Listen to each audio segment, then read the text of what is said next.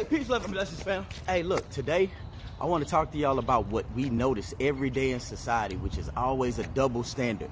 But you know, we operate from the same capacity, the same mindset, because what happens in many cases is we will judge ourselves based off our intention and we'll judge others based off of their action. So that's actually a double standard because you won't apply the same principles to yourself that you apply to another individual.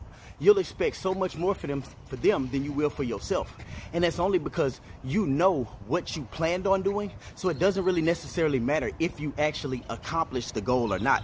But on the hand of the other individual, if they don't accomplish what they have set forth or what they tell you they've set forth, then we kind of shun them or push them to the side because we're not giving them the benefit of the doubt that we would give ourselves. So keep that in mind. Try to operate outside of that double standard. Try to come from a um, mindset of intention and understanding or walking in that other individual's shoes to know that just because they did an accomplishment or just because they didn't hold up to something that it's not necessarily a bad thing and there was nothing more going on than them trying to do exactly the same thing you do.